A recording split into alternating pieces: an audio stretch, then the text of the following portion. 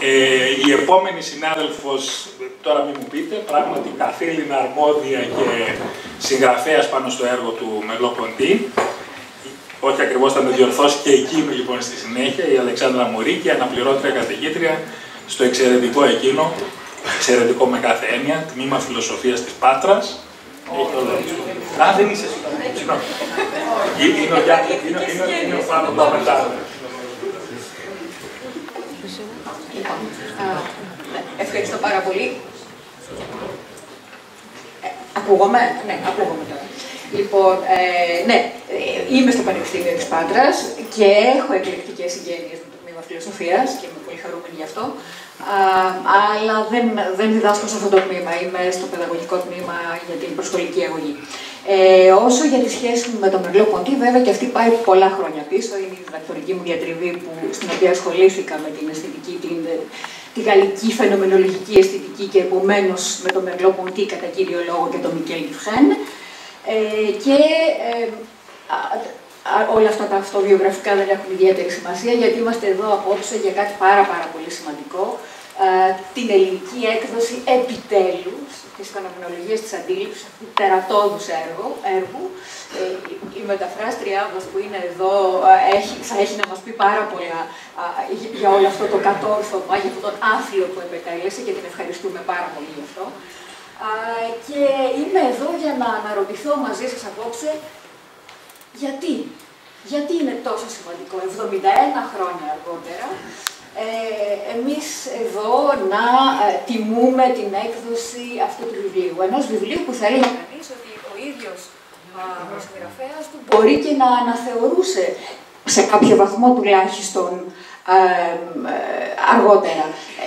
Έχει κάνει κάποιες τροποποιήσεις στη σκέψη του, έχει οδηγηθεί κάπου αλλού. Επομένως, είναι πραγματικά να μιλήσουμε για τη φαινομενολογία της αντίληψης σήμερα; Ναι, είναι. Είναι εξαιρετικά σημαντικό ε, γιατί αυτό το έργο, το, ένα φιλοσοφικό έργο που όμως ε, στην αντίληψη του Μπερλό Ποντή θα μπορούσε να λειτουργεί και ως ένα έργο τέχνης, αφού εξίσου τα έργα τέχνης, η λογοτεχνία ή η φιλοσοφία μπορεί να θέτουν τα κέρια και θεμελιώδη ερωτήματα περί της έκφρασης, ε, έχει, όπως κάθε έργο τέχνης, ολόκληρη τη ζωή μπροστά του και επομένως αναγνώσεις και επαναναγνώσεις που μπορεί να αναδεικνύουν τη σημαντικότητά του και την σημασία του για μας ακόμα σήμερα. Λοιπόν, επομένως, τι το ελκυστικό μπορεί να έχει αυτή η φαινομενολογία της αντίληψης; Μπορεί ενδεχομένως να συνιστά ό,τι εγκύτερο στην φιλοσοφική αλήθεια, στην ιστορία της δυτικής σκέψης, όπως ισχυρίζεται ένας αγγλόφωνος, μάλιστα μελετητής του Μερλό Ποντίου, ο ε, ο, ε, συγγνώμη, ή μήπως θα ήταν ορθότερο να πούμε ότι ε, η φιλοσοφία αυτή, η φαινομενολογία της αντίληψης, α, συνιστά μια αναζήτηση της αληθινής φιλοσοφίας. Ο ίδιος ο Μερλό Ποντί μας δίνει μια μάλλον θετική απάντηση προς αυτή την κατεύθυνση. Στον πρόλογο, αλλά και στο καταληκτήριο κεφάλαιο της φαινομενολογίας της αντίληψης, υποστηρίζει ε, ότι η αληθινή φιλοσοφία, λέει στον πρόλογο, είναι να ξαναμάθουμε να βλέπουμε τον κόσμο και ε, στο τελευταίο του κεφάλαιο, στο κεφάλαιο της ελευθερίας, λέει ότι η λειτουργία της είναι να μας ξαναμάθει να βλέπουμε καθαρά, είτε πρόκειται για πράγματα, είτε για ιστορικές καταστάσεις. Η φαινομενολογία της αντίληψης επιχειρεί να πραγματοποιήσει λοιπόν αυτή τη διαδικασία επανεκμάθησης της όρασης, προχωρώντας από μια στατική αντίληψη των έτοιμων αντικειμένων σε μια περισσότερο δυναμική αντίληψη που δημιουργεί και αναδημιουργεί τα αντικείμενά της, που δεσμεύεται σε μια ατελεύτητη διαδικασία μάθησης και επανεκμάθησης της αντίληψης. Η μερλοποντιανή φιλοσοφία βεβαίως έχει προσδιοριστεί κυρίως ως μια φαινομενολογία η οποία αποδίδει επιστημολογική και οντολογική προτεραιότητα στην αντιληπτική εμπειρία. Δεδομένης ωστόσο της ιδιαιτερότητας της προσέγγισης της έννοιας της αντίληψης από τον Μερλό-Ποντί, ίσως θα ήταν προτιμότερο, μιλώντας για τη φιλοσοφία του, η έμφαση να αποδοθεί όχι τόσο στο χαρακτηρισμό της ως μιας φαινομενολογικής εκδοχής της φιλοσοφίας της αντίληψης, όσο στον αυτοπροσδιορισμό της ως επανόδου της σκέψης στην τάξη της αντιληπτικής εμπειρίας. Και μέσω αυτής σε μια φιλοσοφία που προσπαθεί να βρει τη θέση της πέρα από δεϊστικούς χωρισμούς της νεότερης δυτικής φιλοσοφίας. Μια φιλοσοφία επίσης που διεκδικεί την ριζικότητά της, θέτοντας υπό ερώτηση τις αξιώσεις του λόγου, αξιώσεις για ολική διάβγαση της γνώσης, ή μάλλον θέτοντας αυτήν την ίδια την αξίωση ως θεμελιώδες πρόβλημα και επομένως και τον ίδιο τον εαυτό της, της φιλοσοφίας δηλαδή, ως πρόβλημα. Η φαινομενολογία της αντίληψης δεν είναι λοιπόν μια εξέταση της φαινομενολογικής παράδοσης της θεωρίας της αντίληψης, αλλά μάλλον ένα συναρτητικό παράδειγμα φαινομενολογικού στοχασμού εν δράση, όπως εύστοχα έχει παρατηρήσει και ο τελευταίος μεταφραστής της, ε, ο μεταφραστής της δεύτερης αγγλικής μετάφρασης, δεν ξέρω ποιο πρόβλημα υπάρχει. Ε, συνεχίζω, εντάξει. Ε, συναρπαστικό λοιπόν παράδειγμα φαινομενολογικού στοχασμού εν δράση. Εδώ, θα χρησιμοποιήσω αυτό, ίσως ακούγομαι. Όχι. Καλά. Λοιπόν, ε, συνεχίζω; Ναι, ναι, ναι. Με ακούτε, έτσι; Θα προσπαθήσω να μιλάω δυνατά. Σε κάθε περίπτωση, ωραία, η αντίληψη όπως την εννοεί ο Μερλό Ποντή δεν ταυτίζεται με την παραδοσιακή της έννοια. Διαφοροποιείται από την αντίληψη τόσο του αφελούς ρεαλισμού και όσο και από από την αναπαραστασιακή θεωρία για την αντίληψη. Ναι, το ξέρω, καταλαβαίνω, αλλά δεν κάνω κάτι γι' αυτό. Να σας λέω. Δεν προσπαθώ να σαμποτάρω τον εαυτό μου ή τον παίρνω τι αλήθεια.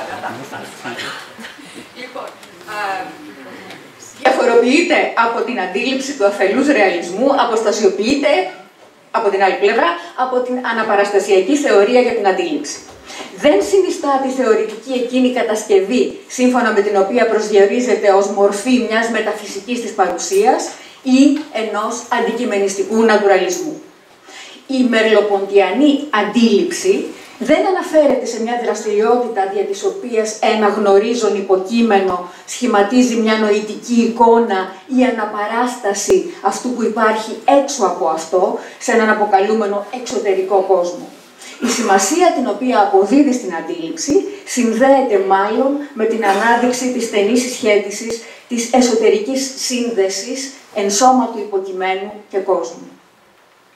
Το περιεχόμενο της εμπειρίας, το οποίο ο Μερλό Ποντή συχνά περιγράφει ως ένα είδος σημασίας ή νοήματος, δεν είναι σημασιολογικό περιεχόμενο, αλλά περισσότερο αυτή η διαισθητική συνοχή που τα πράγματα έχουν για μας όταν ερχόμαστε σε επαφή μαζί τους σε πρακτικές συνθήκες. Τα πράγματα αποκτούν νόημα για μας αντιληπτικά, όπως και για τα ζώα ή για τα παιδιά ακόμα, όταν βρίσκονται σε προγλωσσικό στάδιο.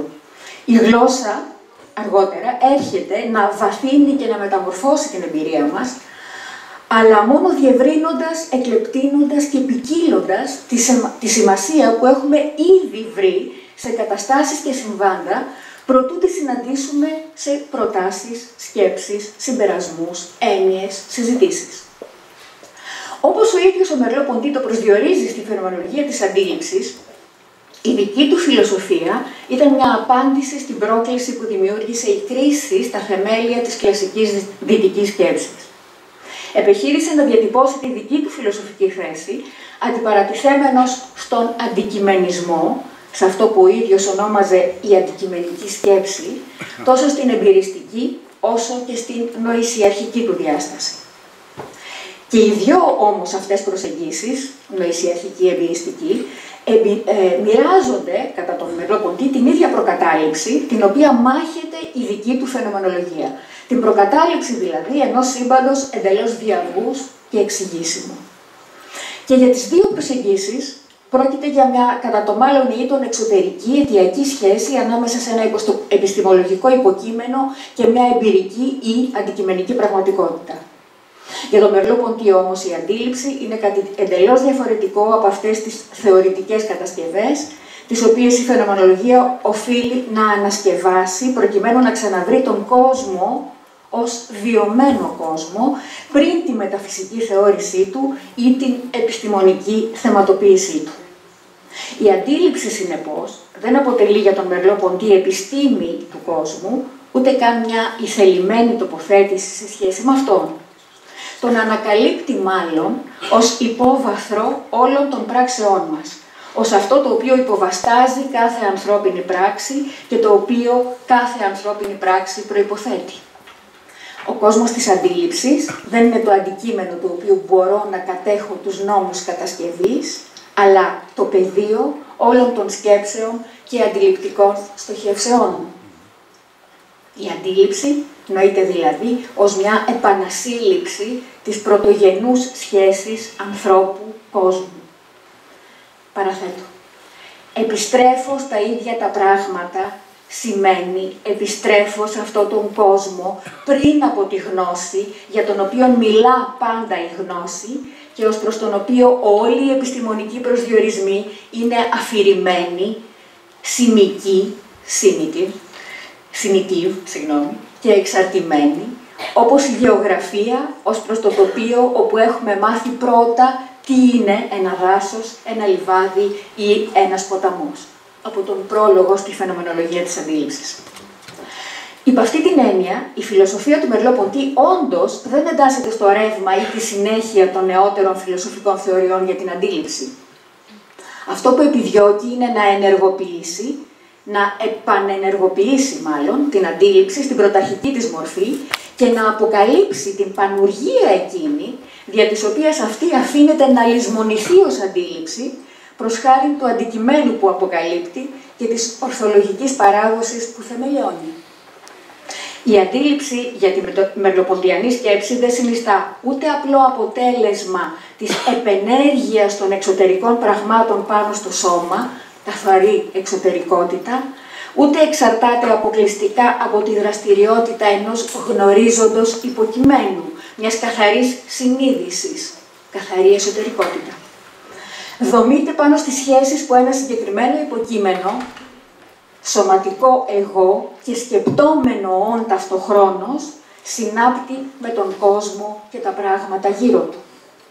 Μέσω του σώματος, το οποίο δεν αποτελεί απλώς πράγμα ανάμεσα στα πράγματα, αλλά τον τόπο όπου το πνεύμα περιβάλλεται το σχήμα μιας συγκεκριμένης φυσικής και ιστορικής κατάστασης, το υποκείμενο συλλαμβάνει τον εξωτερικό χώρο, εκφράζει τον εαυτό του μέσα στον κόσμο, προβάλλοντας σε αυτόν τις αποβλέψεις του. Μέσω του σώματος και των κινητικών αλλά και θυμικών λειτουργιών του, διαμορφώνεται η αντίληψη για τον κόσμο και τα πράγματα, τα οποία με τη σειρά τους γίνονται αντιληπτά, όχι ως περατωμένα όντα, όχι ως αντικείμενα τα οποία ο νους θέτει απέναντί του προς εξέταση, αλλά ως ανοιχτά και ανεξάντλητα σύνολα, τα οποία ποτέ δεν κατέχονται ολοκληρωτικά. Δεν προσφέρονται παρά σε μερικές μόνο από τις όψεις τους κάθε φορά και από ορισμένη προοπτική. Ο κόσμος αποτελεί λοιπόν ένα είδος συνεκτικού ιστού όλων των όντων, τα οποία συναρμόζει, δεν μπορεί όμως να θεωρηθεί περατωμένο έργο, κάτι υποκείμενο σε απόλυτο έλεγχο. Ο κόσμος, λέει ο Μερλό Ποντή επαναλαμβάνοντας μία φράση του Μαλμπρόνς, είναι ένα ανολοκλήρωτο έργο. Προκειμένου δε να αποκαλυφθεί στην πραγματικότητά του, απαιτείται η υιοθέτηση μιας νέας στάσης απέναντί του. Μιας στάσης η οποία έχοντας αναγνωρίσει την ανεπάρκεια τόσο της επιστημονικής όσο και της αφελούς προσέγγισης, που θεωρούν δεδομένες τις θέσεις ενός εξαντικειμενισμένου κόσμου, προτείνει την εγκατάσταση σε έναν κόσμο προ-αντικειμενικό. Σε έναν κόσμο πεδίο των πρώτων προσανατολισμών του ανθρώπου και της πρωταρχικής έκφρασης επίσης. Σε έναν κόσμο του προαναστοχαστικού δηλαδή. Ο προσανατολισμός μέσα σε αυτό το πεδίο απαιτεί την ενεργοποίηση ενιών τέτοιων, οι οποίες θα επιτρέψουν την είσοδο σε αυτό το χώρο που οι προδιαμορφωμένες αντιλήψεις προϋπέθεταν με, μεν, δεν προσέφεραν όμως άνοιγμα προς Αυτόν.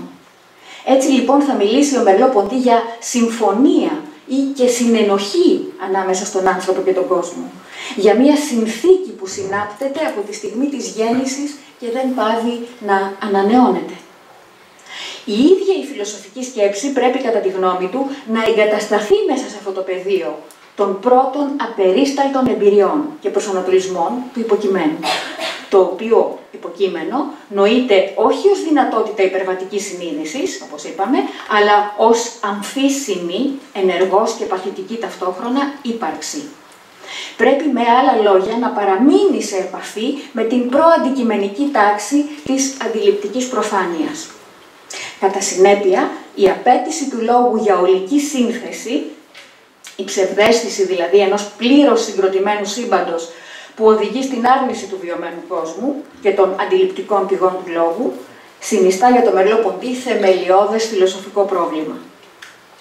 Το κεντρικό ζήτημα για αυτόν συνίσταται στο να κατανοήσουμε πώς είναι δυνατόν να συγκροτούμε τις δομές νοήματος της εμπειρίας και να ανακαλύπτουμε ταυτοχρόνως ότι η εμπειρία είναι ήδη συγκροτημένη με όρους νοήματος, που δεν έχουμε εμείς εμβάλει σε αυτήν.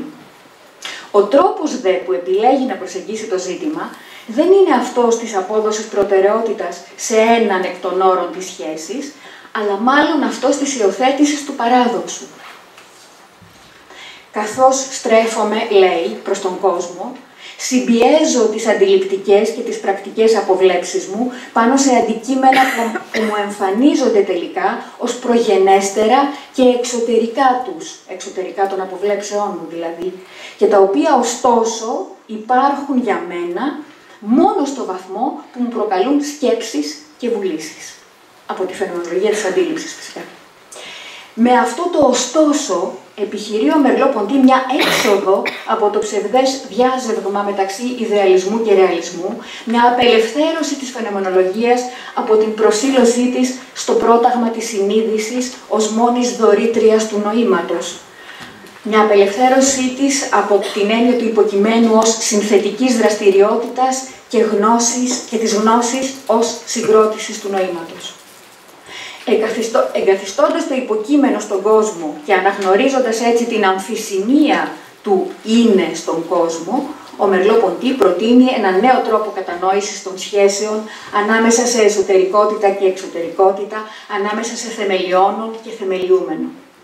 Προτείνει μια σχέση διατομής, θα λέγαμε, ανάμεσα σε άνθρωπο και κόσμο, η οποία δεν αποδίδει προτεραιότητα σε ένα κόγκιτο που συγκροτεί τον κόσμο, ούτε ανάγει αυτόν τον τελευταίο στην ορατή εκδίπλωση μιας συγκροτούσας σκέψης.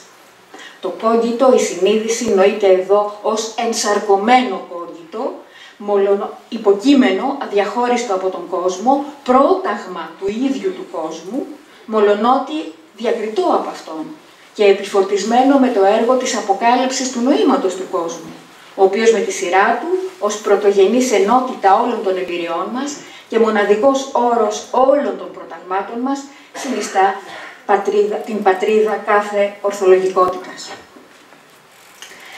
Αυτός ο τρόπος προσέγγισης του ζητήματος συνιστά ασφαλώς ένα διφορούμενο. Διφορούμενο όμως που δεν καταπιέζει προκειμένου να την υπερβεί, αλλά αποδέχεται προκειμένου να την κατανοήσει, την παραδοξότητα του είναι στον κόσμο και αναδεικνύει τη φιλοσοφία του ως φιλοσοφία της αμφισημίας. Στα τελευταία του μάλιστα γραπτά, ο Μερλό Ποντή θα επιχειρήσει μια ριζοσπαστικοποίηση της θέσης του αυτής, κάνοντας λόγο για κυκλικότητα, ενεργητικότητας, παθητικότητα.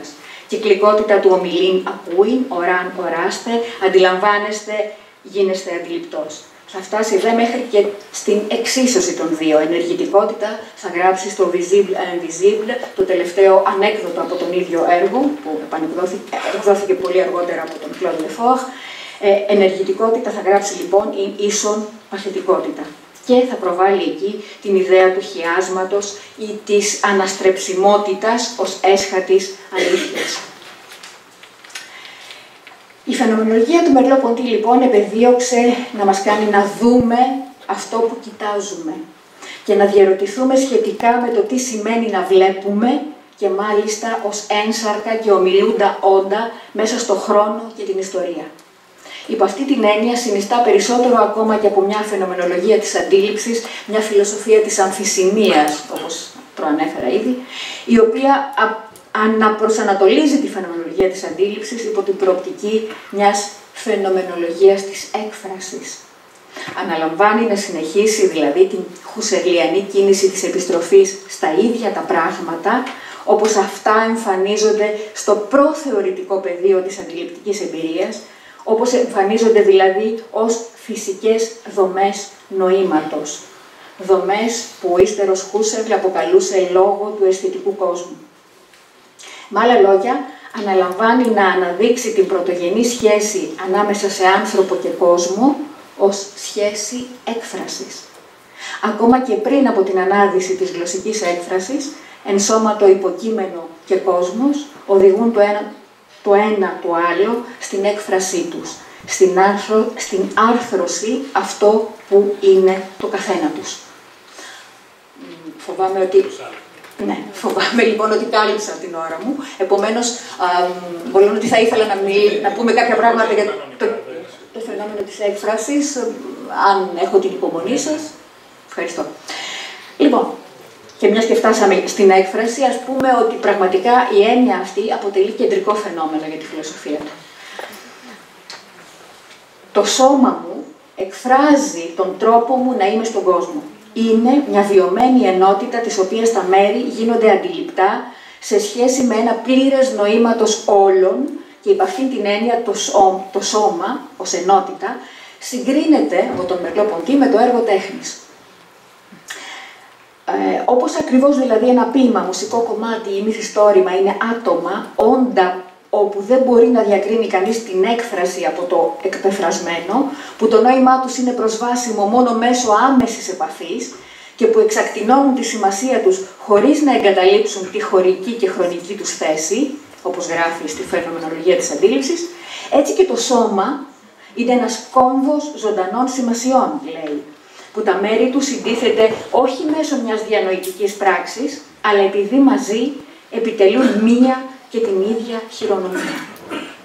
Αυτός ο τρόπος με, το, με τον οποίο το σώμα εκφράζει την ύπαρξή του, η αποβλεπτικότητα και η δύναμη σημασίας όλων των λειτουργιών του, οδηγεί το Μερλό Ποντή σε ένα στοχασμό σχετικά με την παράδοξη λογική της έκφρασης. Το σώμα εκφράζει σε όλες τις εκφάνσεις των υπαρξιακών του τροπικοτήτων, ως όν που έχει συνήθειες, που κινείται, ως έμφυλο και αυτή του η έκφραση είναι όπως εκείνη της ομιλίας, η οποία εκφράζει τη σκέψη και όπου το εκφρασμένο δεν υπάρχει χωριστά από την έκφραση, όπου τα σημεία εκφέρουν προς τα έξω τα νοήματά τους. Με τον ίδιο τρόπο το σώμα εκφράζει την ολική ύπαρξη, όχι επειδή είναι μια εξωτερική συνοδεία της, αλλά επειδή η ύπαρξη πραγματώνεται σε αυτό. Πρόκειται για ένα ενσαρκωμένο νόημα, το οποίο αποτελεί το κεντρικό φαινόμενο, όπως το ονομάζει ο Μερλόποντι, στιγμές του οποίου είναι το σώμα και το πνεύμα, το σημείο και η σημασία. Στρεφόμενος στο τελευταίο κεφάλαιο του πρώτου μέρους της φαινομενολογίας της αντίληψης στην ομιλία, ο Μερλόποντι θα δείξει πώς μια ανάλυση της ομιλίας ως έκφρασης οδηγεί τελικά στην οριστική εγκατάλειψη της κλασικής διχοτομίας ανάμεσα σε υποκείμενο και αντικείμενο. Μια φαινομενολογική εξέταση της γλώσσας αποκαλύπτει ότι η ομιλία ολοκληρώνει τη σκέψη ή καλύτερα ότι το εκφρασμένο δεν μπορεί να διαχωριστεί από την έκφρασή του. Πριν από την έκφραση, η σκέψη δεν είναι παρά μια σημασιακή απόβλεψη, μια ορισμένη έλλειψη που γυρεύει την πλήρωσή της. Και η έκφρασή της δεν καθίσταται δυνατή παρά μόνο επειδή είμαστε εγκατεστημένοι μέσα σε ένα γλωσσικό κόσμο, όπως ακριβώς είμαστε εγκατεστημένοι και μέσα σε έναν αντιληπτό κόσμο. Η ομιλία είναι μια χειρονομία και η σημασία της ένας κόσμος. Αυτό δε που η γλώσσα εκφράζει είναι η θέση που παίρνει το υποκείμενο μέσα στον κόσμο των σημασιών του και, όπως το τονίζει αυτό ο Μερλόποντι, ο όρος κόσμος εν προκειμένου δεν είναι απλώς ένας τρόπος του λέγει χρησιμοποιείται προκειμένου να καταδεχτεί ότι η νοητική και πολιτισμική ζωή δανείζεται τις δομές της από τη φυσική ζωή και το σκεπτόμενο υποκείμενο θεμελιώνεται πάνω στο ένσαρκο υποκείμενο. Αυτό είναι που χειρονομεί, αυτό είναι που μιλάει. Το σώμα έχει μια φύση ενηγματική. Δεν είναι εκεί που είναι, δεν είναι αυτό που είναι, είναι πάντα κάτι άλλο από αυτό που είναι, πάντα σεξουαλικότητα και ταυτόχρονα ελευθερία, ριζωμένο στη φύση την ίδια στιγμή που μετασχηματίζεται από την κουλτούρα. Και είναι πάντα αυτό που εκρίνει νόημα, που δεν προέρχεται από πουθενά. Και αυτή η φανέρωση ενός εμενούς ή γενόμενου νοήματος μέσα στο ζωντανό σώμα εκτείνεται σε όλο τον αισθητό κόσμο. Έτσι, το βλέμμα μας, ενημερωμένο από την εμπειρία του σώματος, του ιδιοσώματος μάλιστα, θα ξαναβρει και σε όλα τα άλλα αντικείμενα το θαύμα της έκφρασης. Στην πραγματικότητα όλες οι υπαρξιακές τροπικότητες είναι δυνατές επειδή το σώμα είναι μια φυσική δύναμη έκφρασης. Ε, νομίζω ότι εδώ θα σταματήσω, ακριβώς θέλοντας έτσι να τονίσω ότι πραγματικά έχουμε να κάνουμε με μια φιλοσοφία, ναι, της αντίληψης, αλλά επίσης της αμφισημίας, της διερώτησης και της έκφρασης. Σας ευχαριστώ.